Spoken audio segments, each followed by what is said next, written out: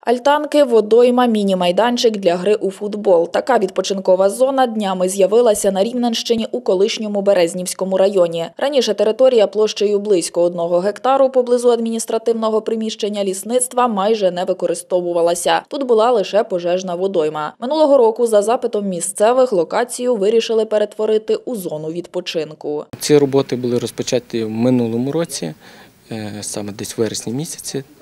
Е, Ми зробили доріжки і декілька альтанок поставили і призупинилося, бо зимовий час настав. І по весні, на жаль, це що вторгнення у нас було, також призупинено було, але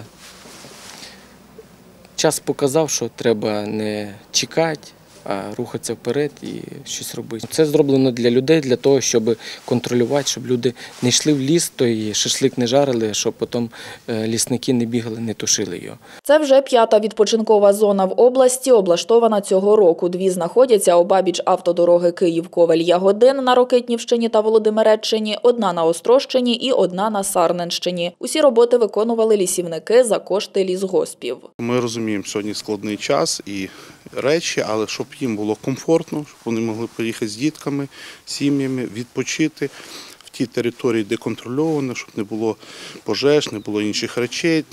І ми вважаємо, що це правильний крок для таких містечок, біля таких лісгоспів, де ми маємо можливість, ми це робимо. Кількість таких відпочинкових зон в області планують постійно збільшувати, адже є запит від населення, оскільки такі місця є альтернативою відпочинку у лісі. Це не тільки місце відпочинку, а місце спілкування, місце проведення тренінгів, проведення сімейного дозвілля е, жителів Березівщини, тому що е, ліс сьогодні це е, переосмислення, це дбайливе ставлення до природи і те, що об'єднує. Основна вимога до таких місць відпочинку це е, доступність.